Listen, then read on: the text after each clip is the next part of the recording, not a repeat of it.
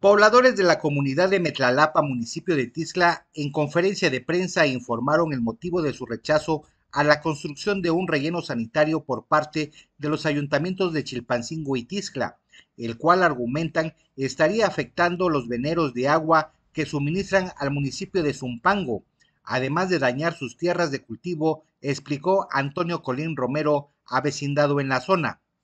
quien señaló que se han entregado documentos de rechazo desde el año pasado a la presidenta municipal Norma Otilia Hernández Martínez y al alcalde Moisés Guevara Cabañas, así como a la Secretaría del Medio Ambiente y Recursos Naturales del Estado Semarén. Sin embargo, no han podido frenar los trabajos que comenzaron a realizarse desde hace un mes. Donde la comunidad está en desacuerdo por la instalación ahí del, del relleno sanitario y se lleva a cabo se llevó a cabo una, en la asamblea, este, se llegó a esos acuerdos y se hace acompañar de todas las firmas de la comunidad. Este documento se le hizo llegar a la presidenta municipal, a Otilia, se le hizo llegar a, a Moisés, el presidente municipal de Isla, y se le hizo llegar a la secretaría donde está Ángel Almazán. Sin embargo, a pesar de esta inconformidad, este, ellos han continuado con su trabajo. Y aquí acertadamente lo señalaron.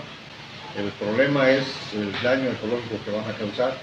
la destrucción de los veneros que van a dar a, a y, además eh, un, perjuicio total a la ecología de una población que es Matlapa, donde realmente todos vivimos de, esa vegetación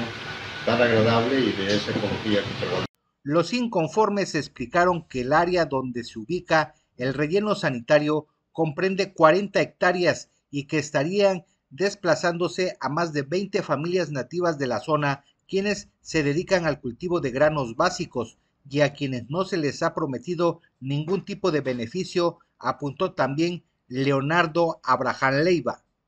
RTG Noticias, Felipe Zurita.